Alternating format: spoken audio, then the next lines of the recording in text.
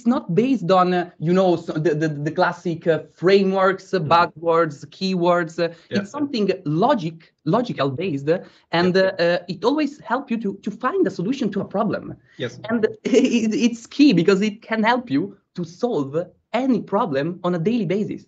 I use the same methodologies to talk to uh, my managers managers at work, with Mm. friends. Uh, to uh, I mean, uh, and it's something that makes sense for both a C level and a random friend. Uh, when, while you are, I don't know, uh, preparing for a summer trip, it's Yeah. the same. It makes sense and solve help you to solve problems. Yes. This, this was, uh, I mean, uh, amazing for me to, to, to actually use this methodology always. The case was actually kind of tough, but the feedback uh, was uh, uh, unexpected because uh, he was like, uh, you already have uh, the kind of uh, associate uh, level of rigorous thinking uh, and the problem solving skill that it's needed. It was like, uh, I mean, no need for other interviews. Uh, let's go with the offer. And Yep.